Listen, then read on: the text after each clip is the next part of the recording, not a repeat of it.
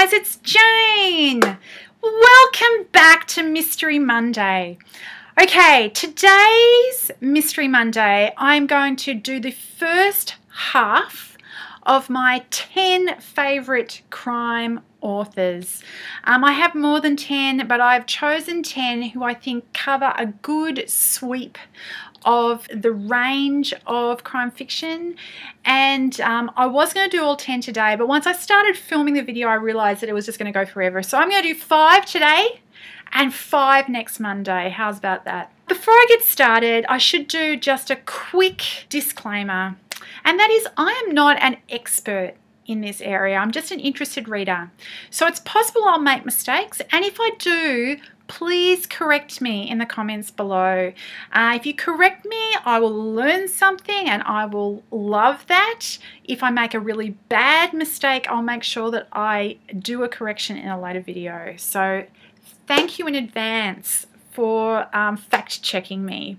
Okay, here we go. Five of my favorite crime authors. For each of these, I'm going to give you a book that's a good starting place um, for that author if you'd like to get started and have a look. Um, in most cases, that will be the first of a series, um, but not in every case. Number one, my favourite all-time crime author is Dorothy L. Sayers. Uh, Dorothy Sayers was a fair dinkum, legitimate blue stocking female academic at a time when they were few and far between. She translated Dante, she wrote plays, she did a whole bunch of things, but her most famous literary creation is Lord Peter Wimsey. Uh, there's a quite an extensive series, I think there's 16 books uh, in the Lord Peter Wimsey series. She was writing these mainly in the 20s and 30s, and all of the books are set at the time when she was writing them. They, they were written as contemporary novels. It's just now that that is in the past.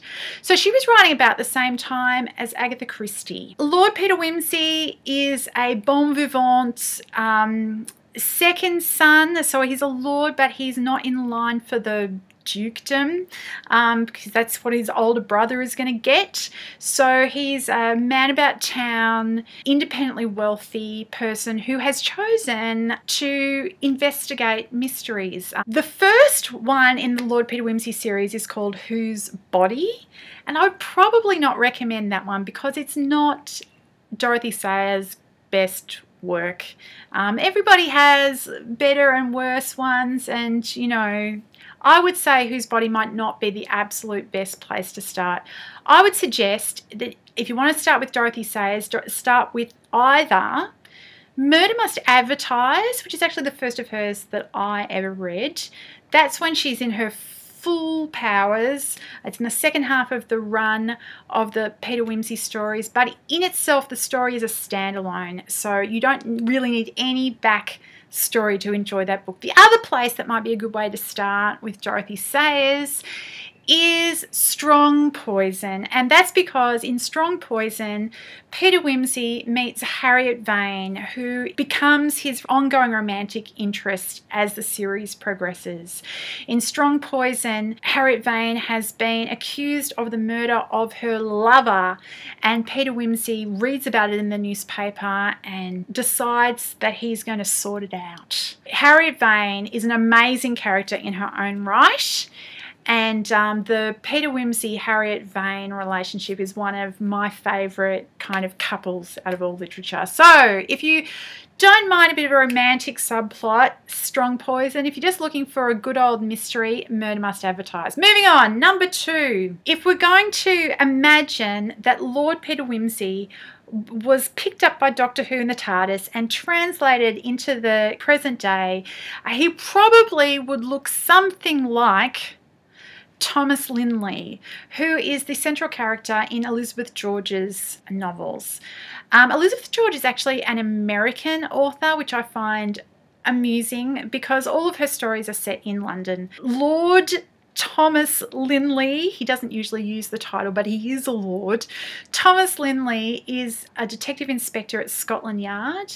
Yeah, these are really superior pol- police procedurals. Uh, Lynley has an offsider, Barbara Havers, who is a fabulous character as well. There's just a working relationship between those two, you'll be happy to know. They're really good books. The first one of those is called A Great Deliverance. Staying in the British Isles and police procedurals, we're going to move north Scotland and for my number three, who is Ian Rankin.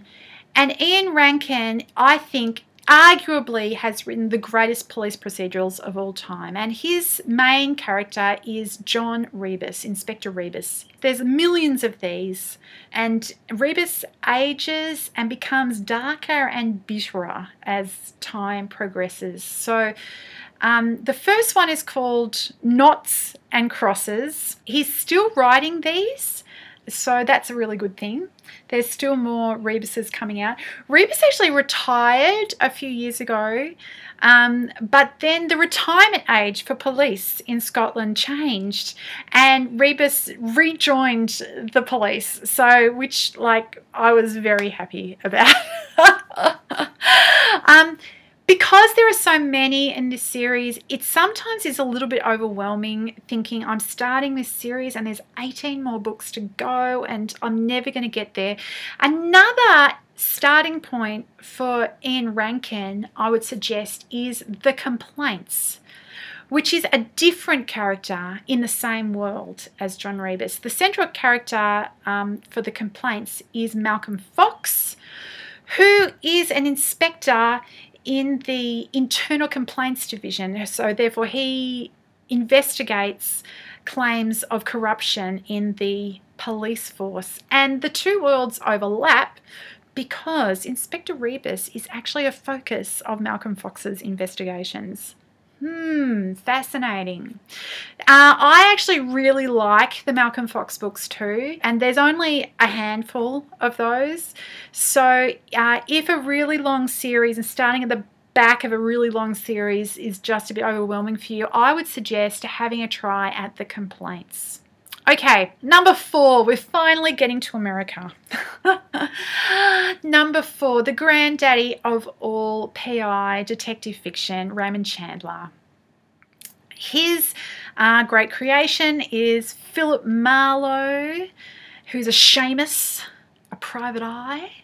Um, his first Philip Marlowe book is The Big Sleep, which um, was made into an amazing movie with Humphrey Bogart. Um, if you haven't seen the movie, please, please do yourself a favour. Go and look at the movie. There's even an amazing bookshop scene in um, in The Big Sleep. So that is that the movie's worth it just for that, hey? And she takes off her glasses and lets down her hair, and oh, she's beautiful. Now, uh, The Big Sleep is hard boiled detective fiction. Uh, where everybody is pretty much corrupt. It's very stylish. His prose is beautiful. It's really a must read. If you're interested in the history of this genre, Raymond Chandler is a must read. And The Big Sleep is not long and it's beautifully, beautifully written. So that's a highly, highly recommended. Now, for today, I'm just going to do one more, and that is my favorite detective, um, as in private eye detective of all time, and that is a woman.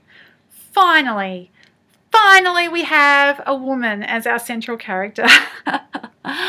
I'm talking about Sara Paretsky's V.I. Warshawski. Sisters in Crime, baby. Uh, V.I. Warshawski is a private eye who works in Chicago.